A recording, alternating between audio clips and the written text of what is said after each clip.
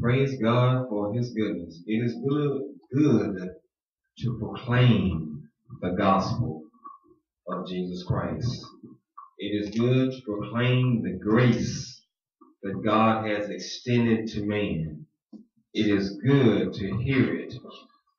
You know, if you don't believe that Christ came in sinful flesh like we are in, that he entered into a man's sperm, was incarnated, that is. He was incarnated in heaven before he ever came to earth. He got inside of a man's sperm or seed, the seed of Abraham. And then the Holy Ghost brought him down inside that seed of Abraham as God had made promise to Abraham. He put that seed inside of Mary, inside of her womb, having the Supreme Spirit Son of God inside of it. If you don't believe this gospel, you don't even believe St. John 3.16. You don't believe in the gospel. You don't even believe the truth about Christ. You don't believe in God. I don't care if you've been attending church or raised up in church. You don't believe the gospel. You really don't believe it. Even though you may not know you don't believe it, you don't believe it. If you don't believe that the, that Elohim Most High has a supreme son, the spirit can have children. And most of your preachers don't believe that. Most of your preachers in this country and around the world in Protestantism and Catholicism and other so-called term themselves as believing in Jesus, they don't believe that spirit can have children or that God really has a supreme son that he begot and the Holy Ghost birthed. If you don't believe like most of your religious leaders don't believe, you don't believe in Christ. You don't believe the gospel. You're just following a rationale of men. Something that men have conjured up in their minds.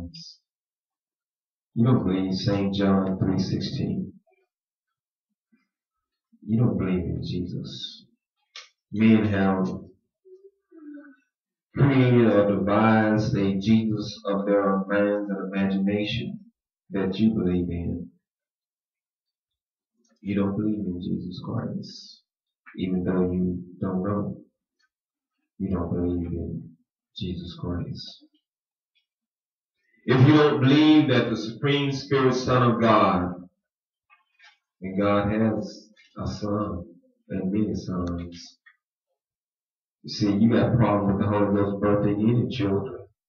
If you don't believe God has a son. If you don't believe in God the Son, the Supreme Son of God, you don't believe in the Holy Spirit. Don't you know that? Don't you know you don't really believe that there are sons of God down here that Elohim, the Holy Ghost, is really inverted inside of men, a seed child, because you don't believe spirit can have children you don't believe God has a son, then you don't believe in being born of the Holy Ghost. Like most of your religious leaders don't. You may not know it. Just look back over their doctrine. Look at this, many of their Trinity theologists. And look closely. And you'll see that they believe that the Father is the Son. Or the Father changed his form and called himself Son. Look close how they define their Trinity theology. Just look close. Most of you, the people generally, you don't know nothing as concerning really what is true or not. You have to follow preachers. Most of you can't read the Bible and understand it. So you go by faith in men. You may not even know this. What I'm saying is true.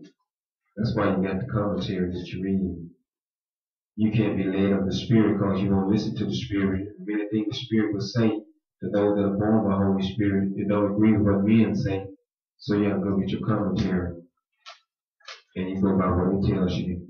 Men, theologians have devised interpretations of the scriptures of the Bible. So you go to that because you don't know.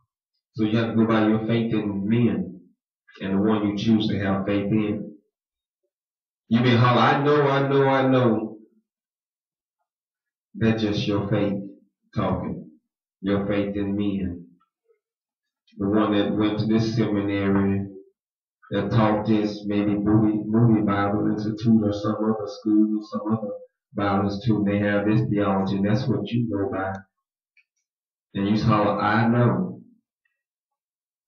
That's just your faith. You don't agree with the Holy Spirit. You don't agree with the Bible.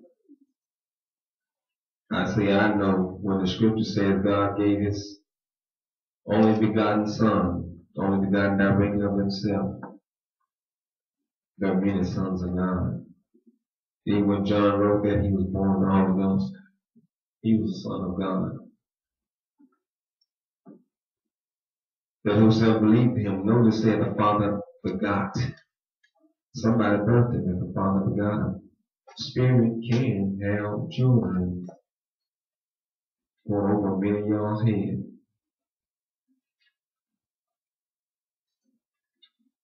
God the Son entered Abraham's sperm. Many of y'all see the promise made to Abraham, and yet you believe your theologians telling you that Jesus didn't have an earthly father. Mary just got pregnant by the Holy Ghost.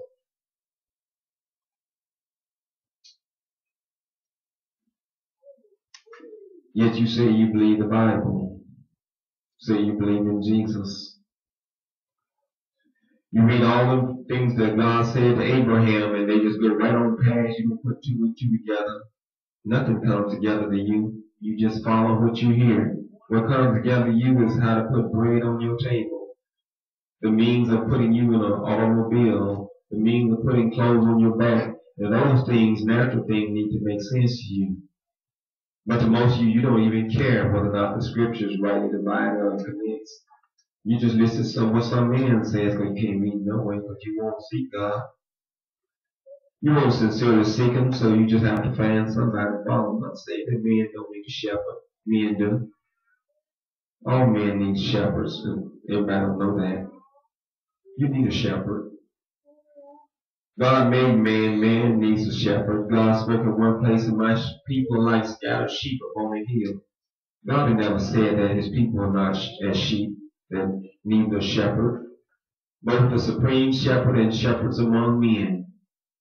But God said he will give men shepherds after his own heart, pastors after his own heart, because false prophets have misguided God's people you may wonder why you don't walk like the apostles walk and why people don't live like the apostles lived and signs and wonders and righteousness and holiness you don't see among your traditional church world.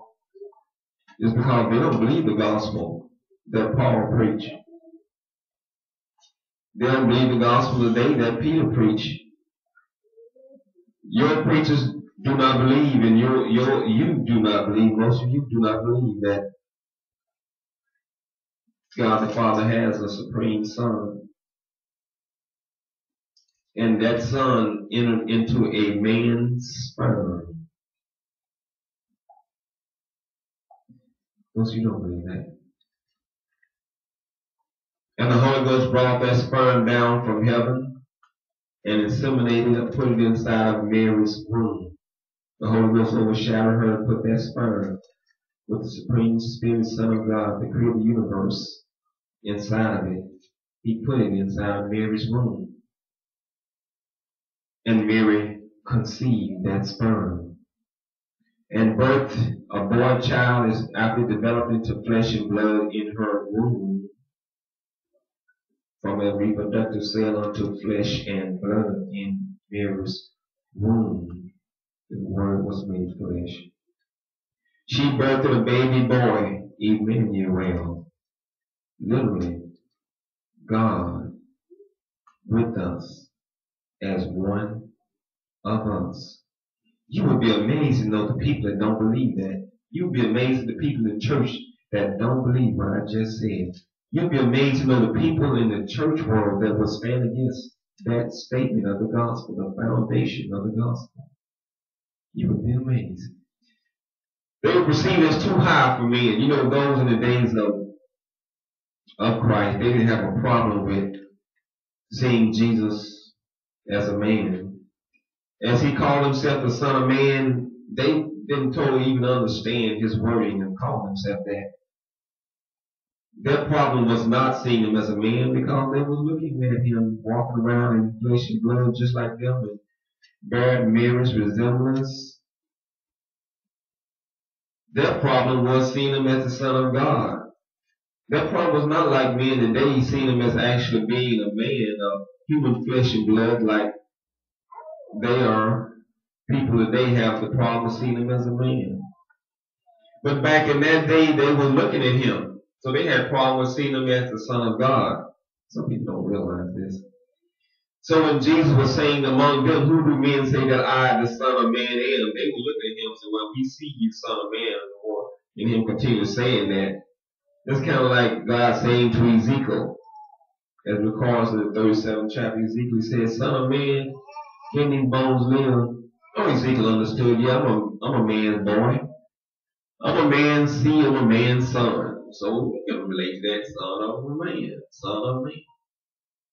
So when Christ was saying, who do men say that I, the son of man, am, they didn't have a problem that that day, but see, Christ knew it would be a problem in future days when men would not perceive him as really being a man like them, or actually having a earthly father, having actually entered a man's sperm, and thereby becoming a man's son as well God's son. A dual nature becoming one person. The Supreme Spirit Son of God took on a man's sperm as a body to come to earth in. And was conceived, that body, seed body was conceived of Mary by the Holy Ghost put it inside of her. And he actually was born fully man. And your preachers don't believe this, and most of you don't believe this. You see, you cannot perceive yourself walking in righteousness like Christ if you don't realize Christ in sinful human flesh like we're in, born in sin and shaped in iniquity, and yet lived without sinning. There's a reason why your preachers omit that, or many of them even deny that. Because they don't have faith in Christ to be able to be born into a body like them and then live righteous. They that will contaminate Christ. Christ took on sinful flesh as we are in, took on him the seed of Abraham. He was born into sin that we may live again, literally. And he walked in sinful flesh, tempted in all points like as we are. And in his death, he condemned sin in the flesh.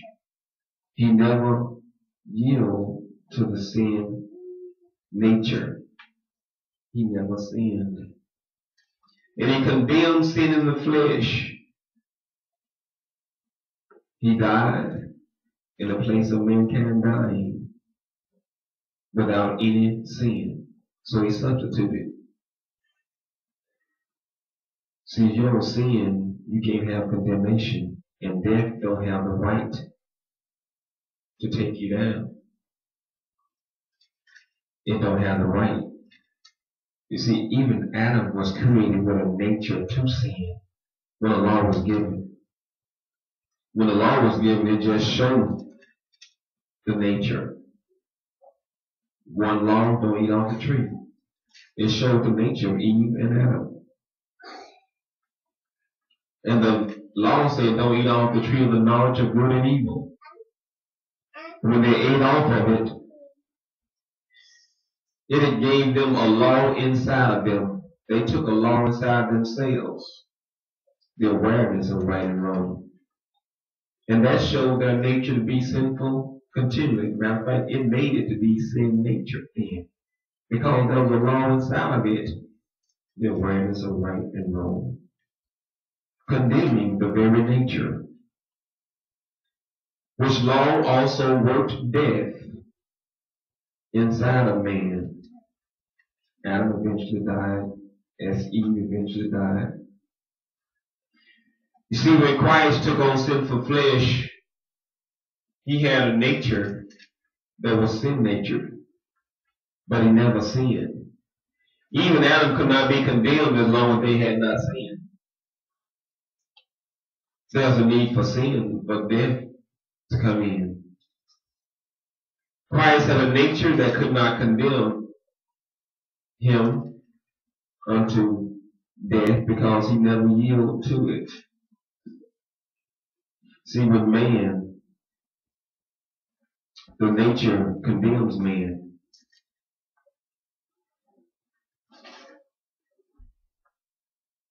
Condemns men to death. But Christ having power over the nature, never yielding to the nature, death had no power didn't have the authority nor the power to kill him. Can kill a baby. I'll explain that. Without the knowledge of good and evil, yet having the compulsions to do evil within his very being, though of good and evil, that hereditary substance that Adam and Eve ate of, is hereditary passed down to us. And it develops in us from a baby as our bodies develop.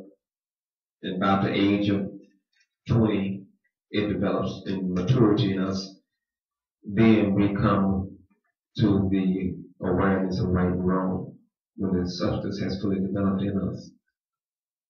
But before that, but it's necessary to understand with Christ he did not have, he didn't have uh, the condemnation. He had power over the condemnation. In living right and power to set this one commandment, have I my Father, lay my life down, I take it up again. No man take it from me. So death couldn't conquer him. He never sinned and he had power over it being the Son of God. I'll explain this more another time. Christ condemned sin in the flesh, made the way for men to be without condemnation. Those who join in him, there is no condemnation. Being under no laws, totally just before God. But men today will move too far to explain something that will take me somewhere else. So I'll come back to those things and explain more another time. Men today deny the foundation of the gospel, Christ taking on the seed of Abraham. His death was for the sins of the first testament and for the ending of the first testament. Y'all don't believe that. You're taught against that. This is not your gospel. This Bible is not your gospel. The Jewish Christianity, Judaism is taught by the scripture. Judaism is Christianity. It's not your Christianity. There's a difference in European Christianity and Judaism Christianity. European Christianity is faith alone, grace alone, things of that land. You know, you got Martin Luther, you got uh, Calvinism and stuff too, but European Protestantism, Christianity, major, large part is faith alone, grace alone. What you do ain't to do with your salvation and all that stuff. That's not Judaism Christianity or the teaching of the Bible. That's European Christianity. Y'all don't know that. So I'll tell you that. You don't know that. The scripture teaches not that Christ died for your sins. That's not Judaism Christianity. That's European Christianity. Judaism Christianity teaches Christ's death was for the sins under the first testament. Hebrews 9 and 15. Judaism Christianity teaches that Christ was made under law to redeem them that were under law. That's Judaism's Christianity. Judaism Christianity teaches that as Paul wrote to Romans, brother, you became dead to law by the body death of Christ. And it was his death that redeemed the sins of the Old Testament. Judaism Christianity teaches that after Christ's death, he yielded forth blood, miraculously, miraculously yielded forth blood for a new testament, even his will and testament, and for the remission of sins under his testament. Matthew 26. That's Judaism Christianity. European Christianity teaches Jesus died for your sins under the New Testament. European Christianity teaches that Jesus' blood washes away sins under the Old and New Testament. Stuff like that. Sometimes they run together. European Christianity teaches not that Christ died for the his death was for the sins under the first testament. They teach that his death was for the sins coming, the death penalty that shall be pronounced at the end of the world. That's European Christianity. Judaism Christianity teaches that man was condemned that Passover day that Christ hung on the cross.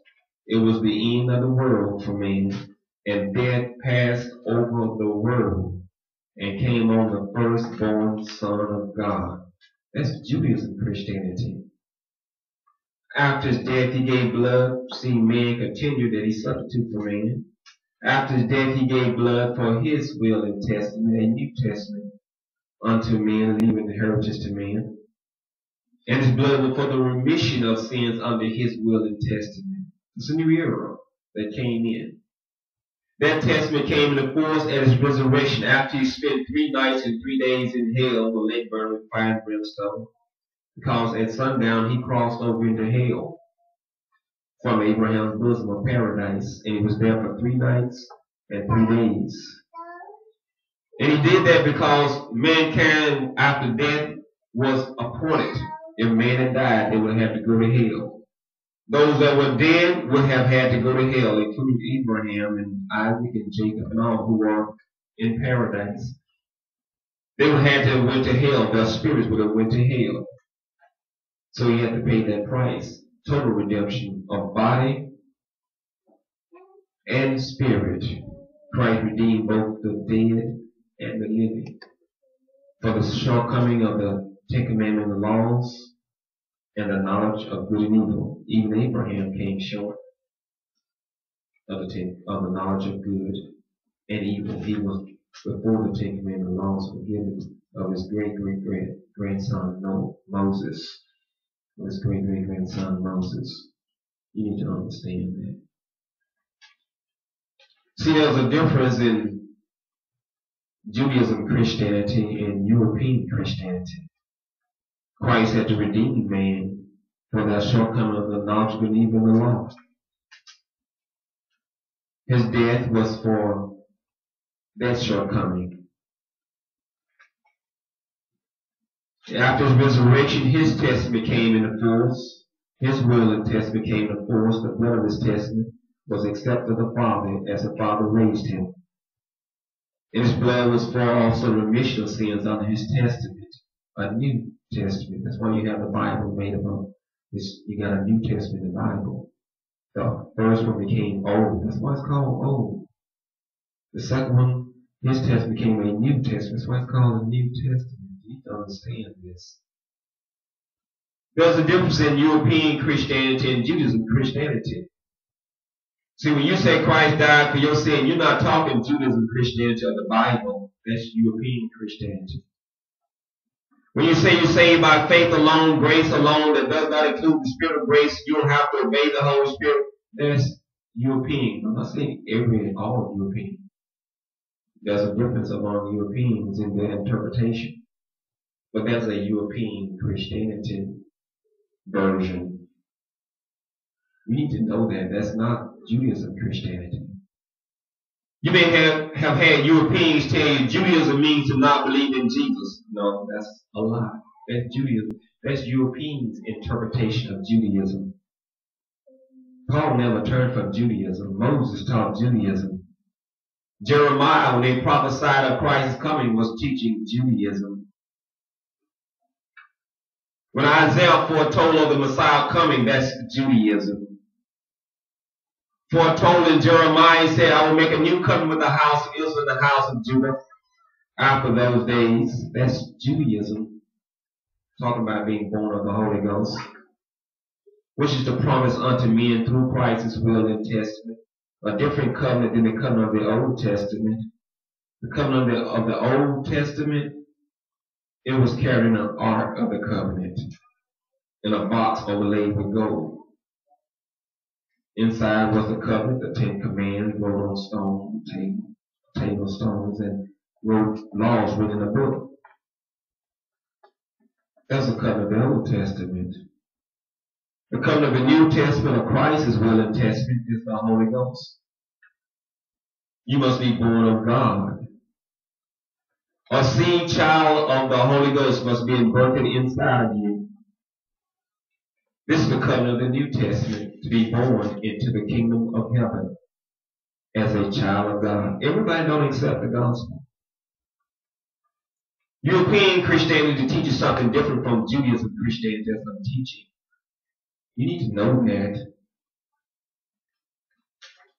Because you have faith in somebody. You may not even understand the Bible because you've been trained or taught a certain kind of reasoning to come to your version of how you think Christianity is. Paul said, if any man preach any other gospel unto you than that which they preached, let him be accursed. Paul never taught Jesus died for your sins under the New Testament. Paul was born under the Old Testament.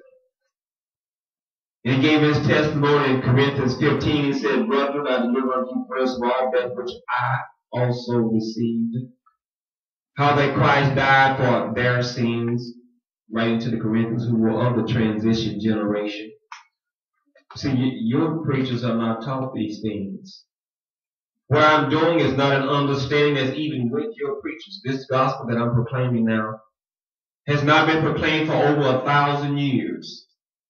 In the appointed time, God has sent me and anointed me and put inside me from the womb the spirit of Elijah to proclaim the truth of the gospel. And giving witnesses with me. Now my wife is a witness with me proclaiming this gospel, restoring the truth of the gospel along with me. To my surprise, this is his point of purpose. And the spirit of Elijah instructs me and the Holy Ghost within me instructs me.